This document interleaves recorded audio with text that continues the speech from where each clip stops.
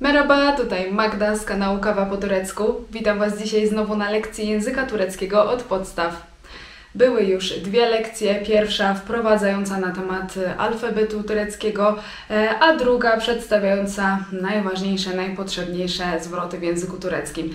Więc jeżeli jeszcze tych lekcji nie macie przerobionych, a chcecie kontynuować naukę ze mną, to najpierw zajrzyjcie właśnie do tamtych lekcji. Link będzie w przypiętym komentarzu. Szczególnie ważne jest to, żeby najpierw opanować turecki alfabet. Wtedy po prostu będzie Wam łatwiej uczyć się tureckich słówek, bo będziecie wiedzieli, jak je przeczytać. Na poprzedniej lekcji mówiłam Wam, że chciałabym, żeby to była taka seria różnych zwrotów potrzebnych w różnych sytuacjach na wyjeździe w Turcji. Na przykład w hotelu, na bazarze, u lekarza itd. Tak a skoro wyjazd do Turcji zazwyczaj zaczyna się na lotnisku, no to od tego chciałabym zacząć. Dzisiaj przedstawię Wam najważniejsze słówka, zwroty, które mogą się Wam na lotnisku przydać. Oczywiście jestem świadoma tego, że na lotnisku można bez problemu porozumieć się w języku angielskim. Wszystko jest też czytelnie oznaczone po angielsku. Mm, ale jeżeli ktoś z Was angielskiego nie zna albo zna, ale chciałby też poznać te zwroty po turecku, no to zapraszam, ta lekcja jest właśnie dla Was. E, wszystkie zwroty, o których będę dzisiaj mówić, będą się Wam wyświetlać na ekranie wraz z tłumaczeniem, a ja będę się starała jak najlepiej Wam je czytać, żebyście wiedzieli, jak je po turecku wymawiać. E, I e, wszystkie te słówka będą też w przypiętym komentarzu, tam możecie sobie zaglądać. No dobrze, nie przedłużając, już zaczynamy.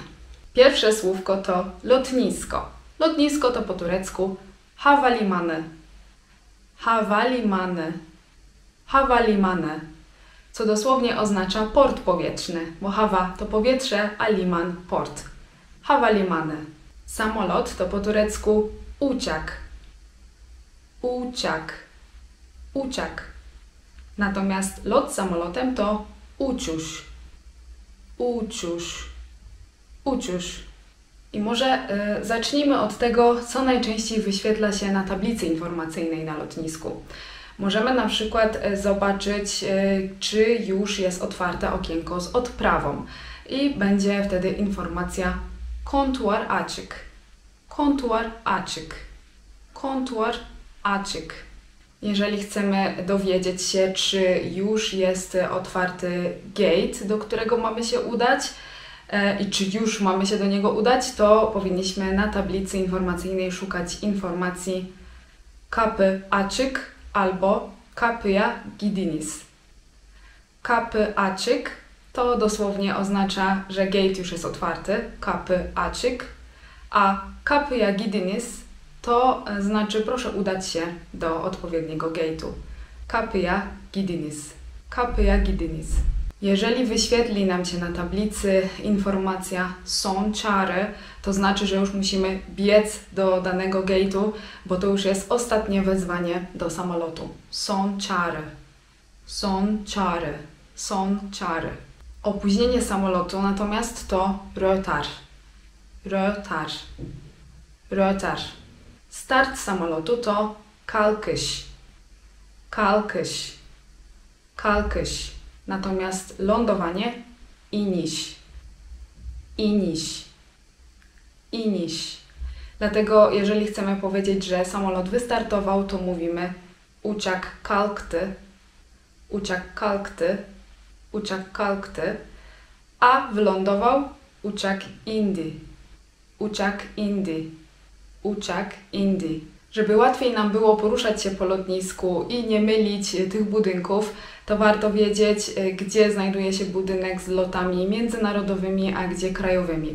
Loty międzynarodowe to Dyszatlar, Dyszatlar, Dyszatlar, a e, loty krajowe to Iciatlar, Iciatlar, Iciatlar.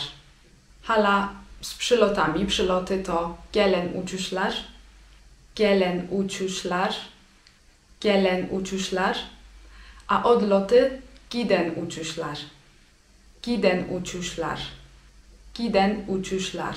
Teraz przejdźmy do słówek, które mogą nam się przydać na odprawie czy też na kontroli paszportowej. Bagaż to po turecku bagaż. Walizka to po turecku waliz.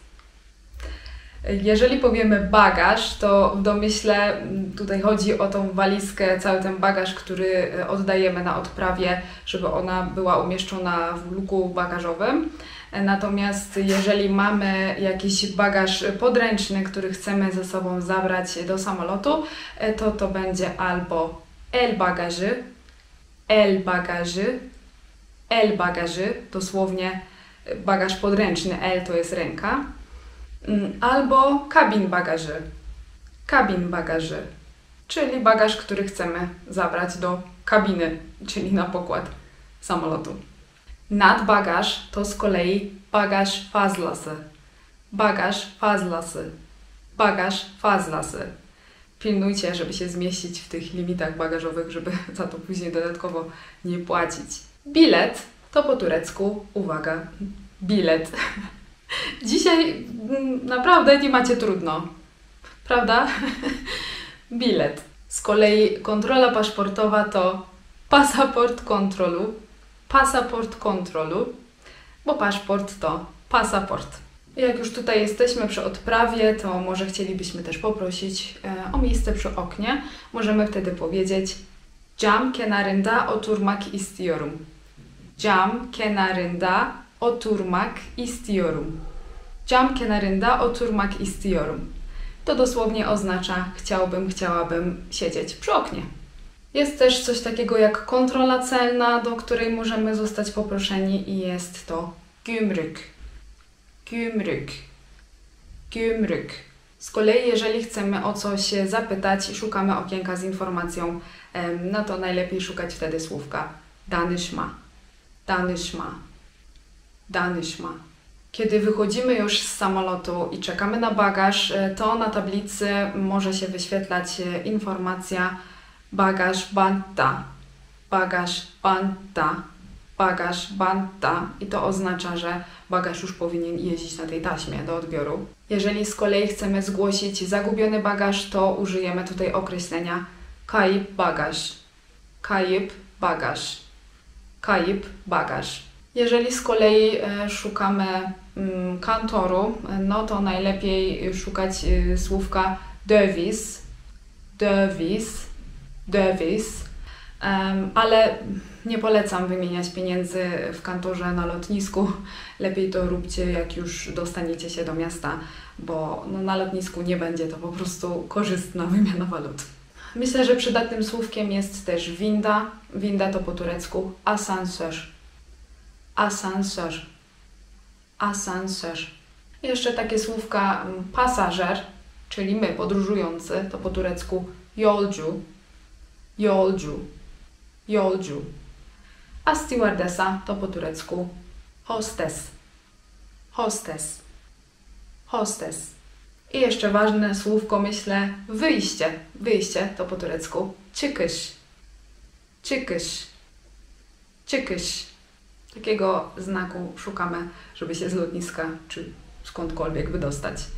E, w poprzedniej lekcji uczyłam Was też, jak pytać o toalety i jak toalety są oznakowane, więc e, no, myślę, że na lotnisku też się to może przydać, więc do poprzedniej lekcji zajrzyjcie, jeżeli tego jeszcze nie opanowaliście.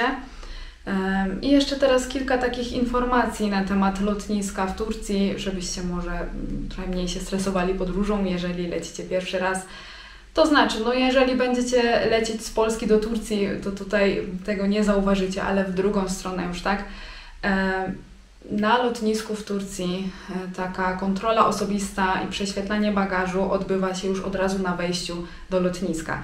Więc pamiętajcie, żeby wypić wodę, którą macie przed wejściem, bo z tą wodą nie wejdziecie. No i żebyście po prostu nie byli zdziwieni. Od razu na wejściu trzeba pościągać wszystkie te paski, powyciągać wszystko z kieszeni e, e, dać walizkę do prześwietlenia, a jeżeli w bagażu podręcznym jakieś mamy elektroniczne rzeczy, laptopy, to trzeba to wszystko powyciągać i pokazać od razu na wejściu. Może się zdarzać też szczególnie zimą, jeżeli lecicie, że będą chcieli od Was, żebyście ściągnęli obuwie, szczególnie jeśli macie takie z grubą podeszwą e, i założyć sobie na stopy e, takie ochraniacze foliowe i na to po turecku się mówi galosz. Galosz. I co jeszcze? E, pamiętajcie o tym, mm, to na każdym lotnisku, żebyście nie zostawiali swojego bagażu bez nadzoru. Jeżeli e, nie możecie od razu e, oddać go na odprawie, bo odprawa jeszcze nie jest otwarta, musicie na przykład udać się do toalety, no to niestety musicie do toalety wejść jakoś z tym bagażem albo komuś zostawić pod opiekę, bo inaczej no, możecie sobie narobić kłopotów, o tym pamiętajcie.